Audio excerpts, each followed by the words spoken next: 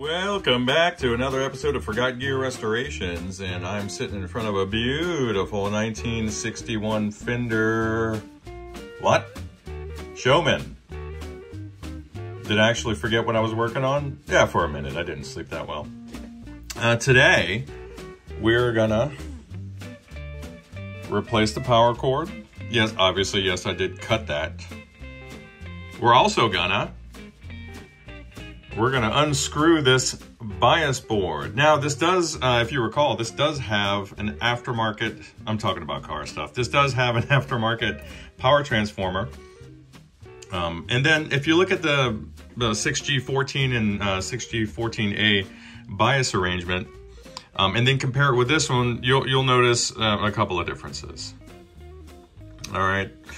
So um, I think we should we should be getting between uh, 50 and 70 raw AC volts out of this bias tap here. Um, it should enter this diode on the uh, the cathode end. Um, and then it should hit uh, the first filter right here, which which has the the cathode end um, away from ground because we're, we're, we're getting negative voltage out of this circuit here. Um, and then we'll have a voltage divider here. Um, this should be 10K. This should be um, between like 82K or 56K and 100K depending. That'll be a voltage divider. Then on the output of that, we'll have an additional stage of filtration. And then, boom, right here. And, and this will um, find its way over to the, the bias feed resistors.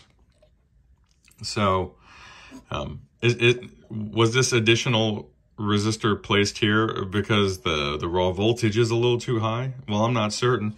Um, but you can see here that he took this 10K resistor out of the equation by jumping um, with a bit of bus wire or a bit of a snipped lead.